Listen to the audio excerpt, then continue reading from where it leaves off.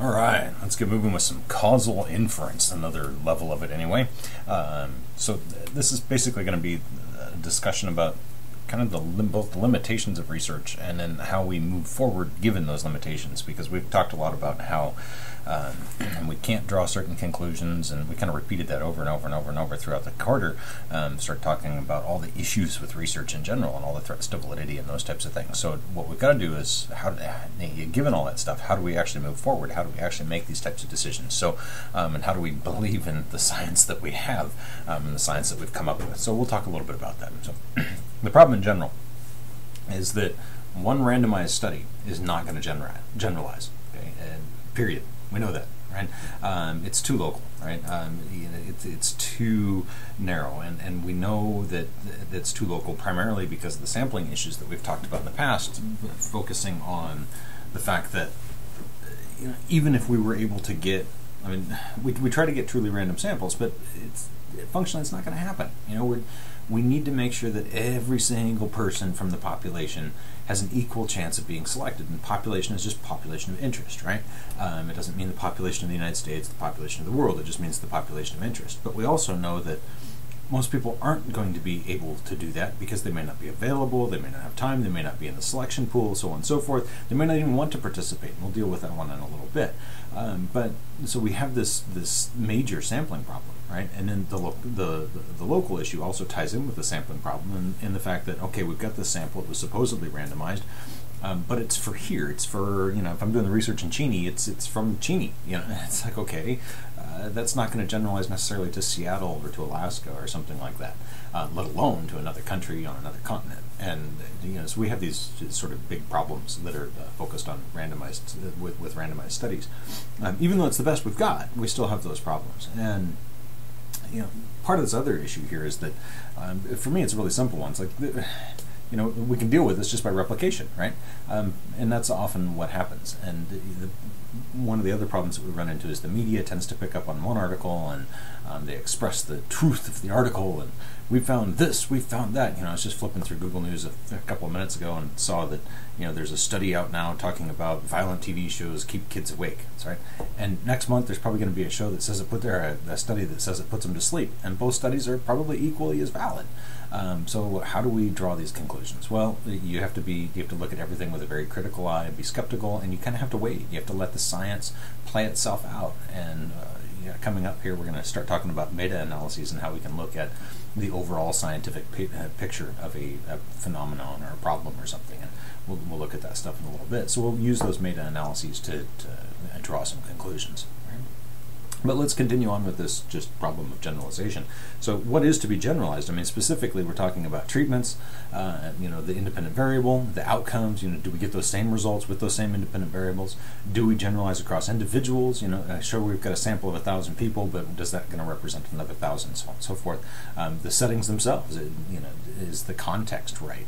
Um, sure, we can do this stuff in the lab, but can we pull it off in the classroom? Or sure, we can pull this off in the classroom, but can we pull it off in a hospital? You know, that type of thing. Right? Um, specifically speaking, we're also going to talk about construct validity. So the constructs that are associated with all of this stuff, so intelligence and those types of things that, that we're trying to measure, are those things valid? Are, are we measuring those properly? And do those generalize? You know, intelligence is one of those things that doesn't generalize across cultures, right? Uh, it, it, you know, it's a major problem with our measurement tools, multicultural assessment, right? That's a, speaking directly to this issue of generalization and construct validity. Of course, then there's external validity. You know, does this stuff is it going to go outside of your study? Is it going to represent the real world, real people? Um, and we have to deal with all those things, and we have to figure out a way to address it, right? And how do we work the how do we work the logic around all these problems, um, and how can we draw conclusions based on that logic? So let's look a little bit deeper into the sampling issues. Um, and I kind of already went over this, so I'm going to go over it a little bit quicker. Um, but we've got a couple of different techniques we typically use. And first off, of course, the sample must match the population in order for the logic to work. But we also know that it rarely does match the population, right? You know, people, you know, supposedly they have an equal chance of being selected, but that's kind of a bunch of hooey. There's really no way for everybody to have an equal chance of being selected, especially when we start thinking about uh, people can have the right to refuse to participate. And if the, once they refuse to participate, then your sample is biased. And that's one of the natural biases that exist in psychological research, or any medical research for that matter, is the, the patient or the client or the subject or the participant, whatever you want to call them, it, their right to refuse. And our science will never ever represent people that refuse to uh, participate. I mean, why? Because we never find out, you know, how they would react in that particular scenario or that that setting, um, because they're refusing to participate, and people like them refusing to participate. So. Um, the method we've kind of been talking about the most is simple random sampling, where every member of the population has an equal chance of being selected. Again, there's the problems with actually pulling that off. Another thing that happens out there uh, that works fairly well, but there's, you know, it, it's another sampling technique, and there's problems with it, but it, it, works probably as good as simple random sampling with fewer problems. Um, and it's called cluster sampling, which is where you identify clusters, right? So think of this as um, neighborhoods, right? each neighborhood becomes a cluster. So we're going to choose West Central or North Central or whatever, right? So we're going to choose all these different neighborhoods and then randomly select a house from within the neighborhood. And that way we're not trying to randomly sample across individuals, we're trying to randomly sample across cultures and we're, or clusters.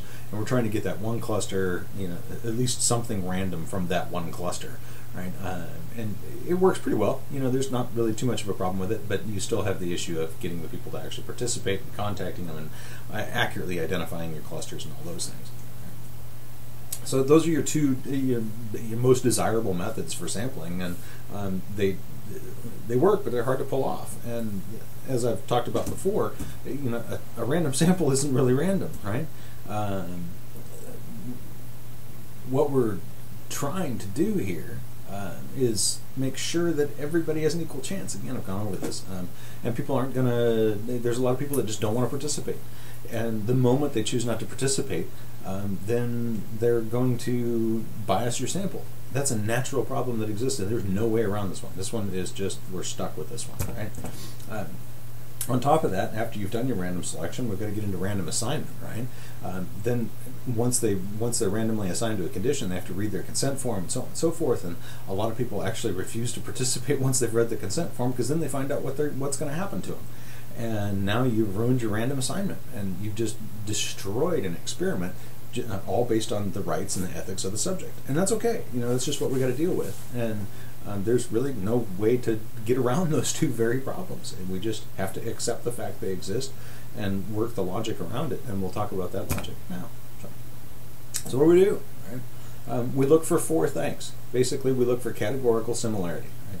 Knowing that there's all these problems, knowing there's these sampling problems, assignment problems, and all those things, how do we draw conclusions and generalize this stuff to the general public? Um, right off the bat, we've got categorical similarity are people are the people functionally the same? Are these from the same category of people? You know, if we've got a sample of people that are all low SES, well, they may not be a perfect representative sample of all people in the region that are in low SES, low in low SES. But you know what? They're close enough, so probably going to generalize to them. Okay? Psychometrics. And so reductionism in separate uh, reductionism to represent constructs. Basically, just getting at here are our psychometric properties are are those valid? Do we have are we using the proper tool to assess the people? And if we are, um, then it should work across multiple individuals. Um, because there's an entire field called psychometrics, and we have psychometricians that their entire job is to come up with quality measurements. And the idea is to reduce all this down into one data set, right? So we've got uh, we've got these powerful tools. Like for example, the Beck Depression Index. It doesn't have that many questions on, like twenty or thirty questions, something like that, and that supposedly represents depression. Well, it does it really well. Well, that's okay, you know, and so that works.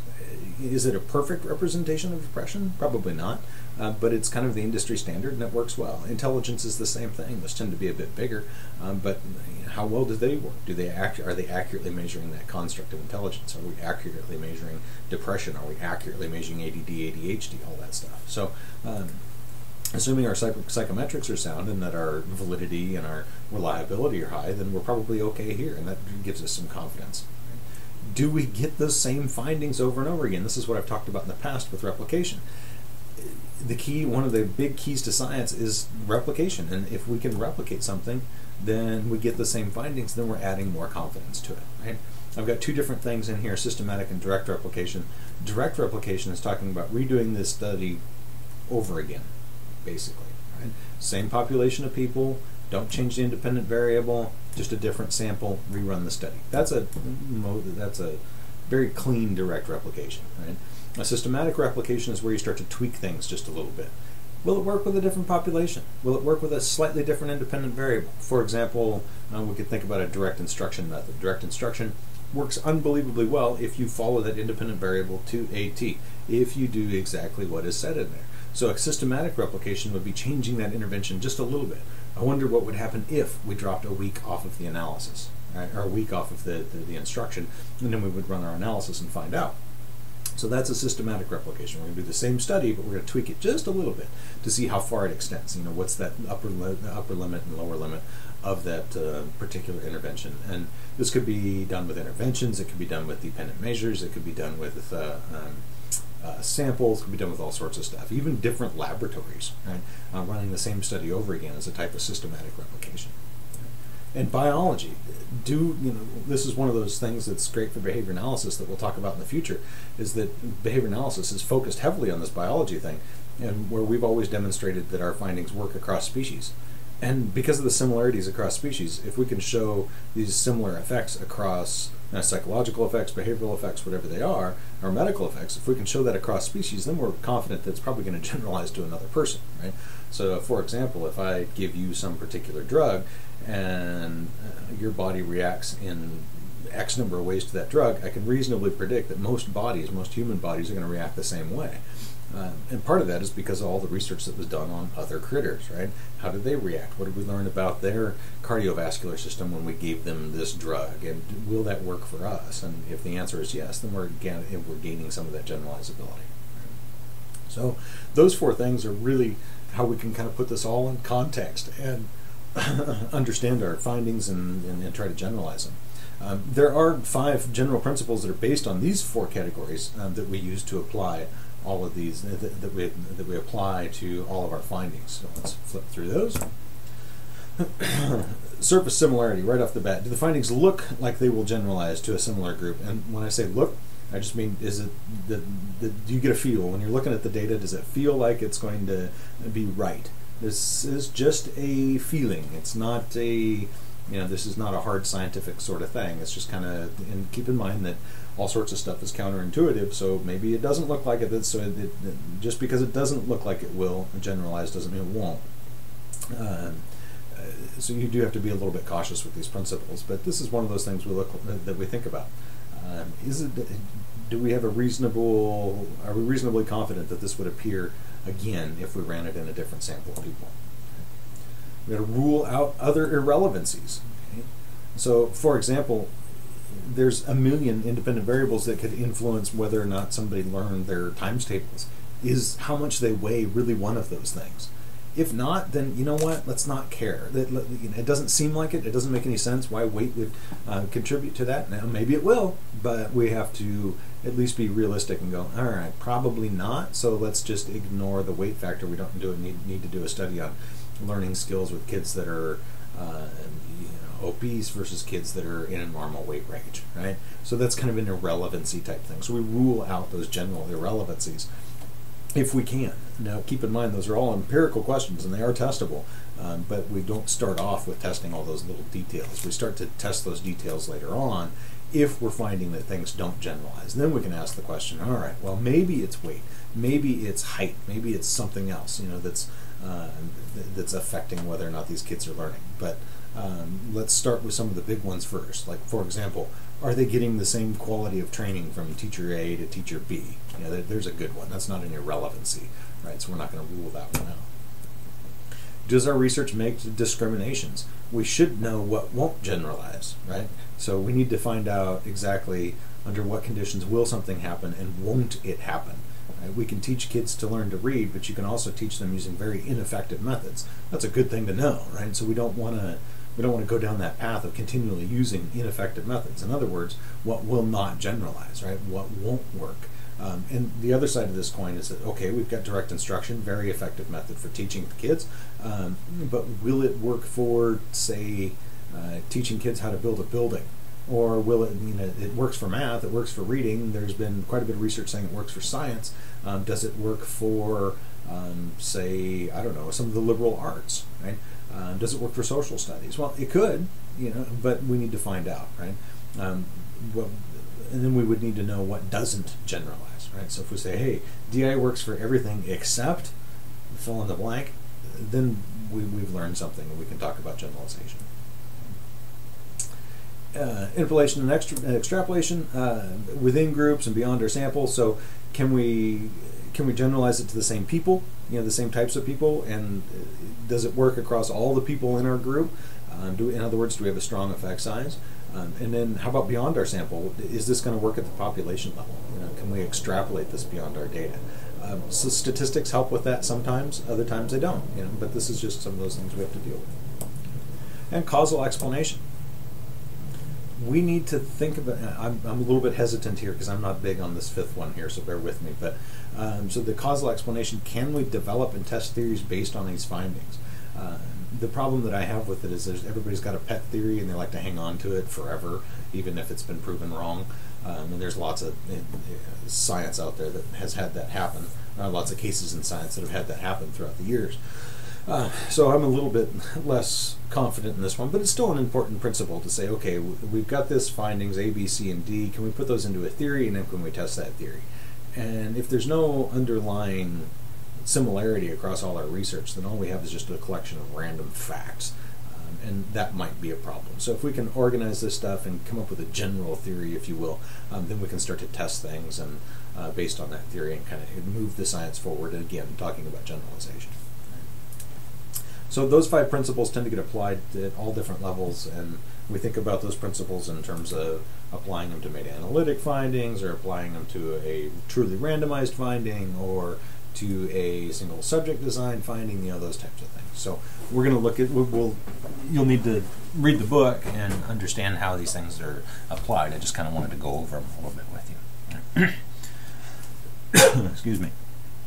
We also have other methods for doing sampling, and keep in mind that these other methods aren't nearly as good as the simple random samples or the cluster sampling, uh, but they still tend to work. Right? So right off the bat, we've got purposive sampling one of the most common types of things that we're going to deal that you're going to see out there. It's common, it's effective. We're going to grab a particular sample for a purpose. Um, we don't want to look at the effectiveness of some pregnancy drug uh, or pregnancy program, support program for people that aren't pregnant. So we're going to focus just on pregnant people, right? So it's common and effective. There's two different types of uh, procedures that we can use for uh, of sampling. Uh, number one is heterogeneous selection, right? So we'll go into that a little bit more detail here in a minute. Um, but primarily it just means that we're getting a group of people that are different, even though that there's a, a purposive sample to it. We're getting as many differences within that sample as possible um, to try and represent the entire population. So we're going to get people of high SES, low SES, high education, low education. Um, we're going to get all sorts of ages that are relevant for us, and we're just going to try and make it as broad of a sample as possible. So then maybe we can generalize it to the population. Or we can focus on that typical instance type stuff, right? So instead of getting a heterogeneous, we're going to get more of a homogeneous type selection. We're going to focus just on the people that are that it's relevant for. It's like, okay, the typical instance of whatever X is is going to occur in this particular subpopulation of people, so we're just going to focus on that subpopulation. That becomes a purposive sample. It's not random by any means, at least at some level it's not random, and so it, it doesn't fit into those simple random categories. Um, so it is a purpose. We're done done on purpose. We lose some of that randomness, but we're interested in those particular people. I tend to think of this as actually less like a sampling technique than a lowering of your than a changing of your population of interest, right? Um, but that's a an argument that we could argue about forever. Anyway, all right. Purpose of sampling in more detail, right? So let's look at the typical instances uh, situations, right? So what we need is very clear definitions. We need clear definitions of settings, times, treatments, persons, outcomes. We need to define all that stuff ahead of time so we know who to choose, right? Um, in order to do that, we have to have a ton of existing data, right? So when will direct instruction work? At what time in the child's life, what type, and how are we actually going to do direct instruction for what people, and what's the outcome that we would expect. So we're going to have to really narrow this down. Um, and then, in order to choose those people to participate in the study, we're going to have to have all that information about them. You know, uh, so we're going to have to have a lot of data ahead of time in order to select these folks. Heterogeneous actually uses the same types of procedures, believe it or not, um, but we're going to select differences of people on purpose, like I talked about before. Clear definitions, again, settings, times, treatments, persons, outcomes. Um, do these things work across all those groups, is the question that we're asking with heterogeneous selection. Rather than narrowing it down for one small subgroup, we're going to say, does this work across all these people? Does it work across all these instances? And if so, then you know, hey, we, we've done a decent job of not really creating randomness, but we've done a decent job of capturing that particular information and hopefully getting it to generalize to other people. Again, then we go back to those five criteria and the four criteria that were before that and see if we can apply those those things to it and say, okay, yes, it's similar. Um, you know, hey, we ruled out irrelevant stuff, so yeah, I think this is probably going to work with the population, but let's replicate it just to make sure. So replication is really the key to all this stuff. So how do we actually study causal explanation, right? Uh, well, there's two general types of, uh, or there's three general types of uh, criteria for focusing on how we actually gather this information and gather these, this data, um, and then draw conclusions from it. One of them is qualitative, one of them is statistical, and one of them is experimental. Now, I can tell you right now, I hate the first two. Right, that's my bias. So I'm gonna present them to you, but know that I just generally think they're, well, I'll just put it bluntly. I generally think they're pretty useless. Um, there is some value in some of these things, but I tend to be much more quantitative and much more experimental in focus. And that's because of my background as an experimental psychologist and as a behavior analyst. Right? So ethnographic studies, there's quite a bit of information on ethnographic studies and, and that they can uh, provide you with some interesting information. Basically, all we're trying to do is look at the context of the results um, what is that additional information that we can gather that wasn't directly about the numbers per se, right? So maybe you get this overall, hey, we got a significant difference in our groups, but maybe it only worked for some people. You know, think of it this way: if you're shooting a rabbit, if you're shooting at a rabbit, right? Um, eh, you, if you hit six inches too high the first time and miss the rabbit, and you shoot six inches too low the second time and miss the rabbit, well, guess what? Um, if you average that out, you killed the rabbit, but you ain't got nothing on your plate, right? So statistics can be a little bit misleading, so sometimes we should focus on some of the other stuff here. And this is one of the problems I have with statistical modeling and um, statistical control, um, as opposed to direct observation of whether or not that whether or not you've got dinner on your plate, right? So um, ethnographic studies are going to look at that context of those individuals. Did this stuff work for these people? Did it not work for these people? For me, that's an interesting question because it um, it's a, it's actually a, qual- a quantitative one. I'm saying it did work for these folks, it didn't work for these folks. I'm going to try and see what what those differences are and then dig into it at a different level. Um, so I, I don't even treat that ethnographic stuff really as qualitative as much as what your authors do in the textbook. Right? Um, but another way to do this stuff, open-ended interviews, um, and then but we can code common answers. You know, we can ask people why. You know, I've done research in the high-risk behavior area for a long time, and we ask people why did you engage in no condom use this week, and they, they can talk about that, right? They just it's an open-ended question, and then what we do is start flipping through those answers and looking across all our subjects. Excuse me, looking across all the subjects and going um, this is, you know, we, we see religion playing a role, or we see um, alcohol playing a role, and that type of thing. We just code stuff that way. So we, in a sense, we turn it uh, quantitative. Statistical modeling is another technique that is very popular today. It's almost in vogue, right? Um, to use structural equation modeling. Uh, you know, there's other methods out there um, that do this stuff, but um, this SEM is probably the most common that I've, I've, been seeing in the literature. You'll see it a lot. Uh, there's a decent section in your book on it, and you'll see that a ton when you actually dig into the real the school psych literature, and you see what you know what's being done. How do we explain why this child is engaging in this behavior? Why are they failing in math? And they have all these fancy statistical models. Basically, all they did was a bunch of correlations. That's it. And as we know, correlation is not causation. And what they're doing, you know, what authors that use SEM are doing is they're they're teasing apart these effects, and they're doing a great job. It's it's pretty it's pretty powerful statistical tools.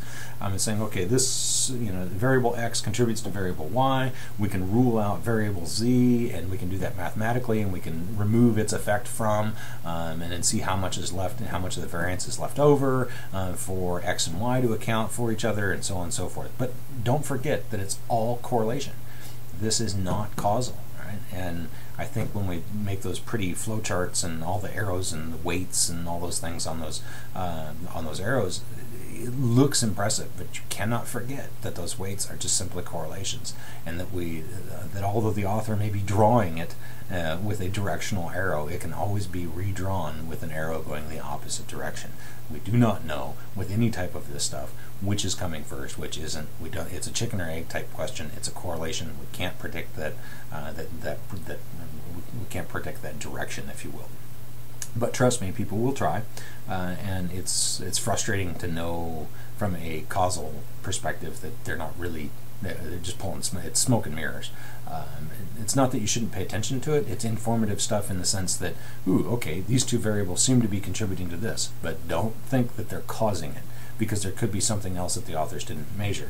On top of that, not only did they may have forgotten to measure something, but they have measurement error in each one of those measurements. You know, we've talked about that before. We've talked about uh, variance accounted for with correlation. We've talked about um, um, error variance. We've talked about all those problems that we can come up with with the mean, right? So how accurate is the mean? Um, is it not accurate? Is it accurate? All that stuff, right? So that's all measurement error stuff, and that's all embedded in there. You don't see it because, of course, they're not going to highlight, you know, not going to give you little numbers and make it really obvious for you how much measurement error is there. But you can find it. It's in the articles, or you can derive it based on some of the content that's there. Um, so just keep that in mind as you're looking at all those fancy statistical techniques and uh, the stuff in the articles. Is that it, it is a correlation and there is measurement error as well. So take it with a grain of salt. Let it inform you, but don't uh, don't treat it as gospel, so to speak. Experimental manipulation, no one questions that hands down this is the best way to come up with cause and effect stuff. Uh, it's is it empirical? You know, you, you, you, know, you can't fix your design problems with fancy statistics. No way to do it, right? Um, you, qualitative, maybe informative. It gets you to ask more questions, maybe, but it doesn't answer cause. Right? Now, you want to know what caused the behavior uh, or the problem in the kiddo? Well, you're going to have to do some type of experimental manipulation. You're going to have to study it at that level, and there's no way around that. And I think our society often forgets that, and tend to look at a lot of this research and go, ooh, ooh, ooh, we figured out that whatever causes cancer. And like, okay, that's great, but all you have is a fancy correlation. You have a fancy statistical model. Don't forget that there may be something else to it. And if we can't do the experimental manipulation, then we're not going to have that very clear cut answer. So for me, experimental manipulation is really the strong way to go. Uh, and it really gets at the cause and effect stuff. And the other stuff is useful and informative, um, but you're not going to get many treatments that are based on qualitative or statistical modeling. You're going to get treatments that are based on experimental manipulation. Um, so you want to fix a problem, you want to understand the problem, you go experimental. The other two methods are going to be informative and maybe lead you to making better decisions about how to do your experimental manipulation, and that's kind of the way I think about it. All right, we'll come back and talk about more stuff soon.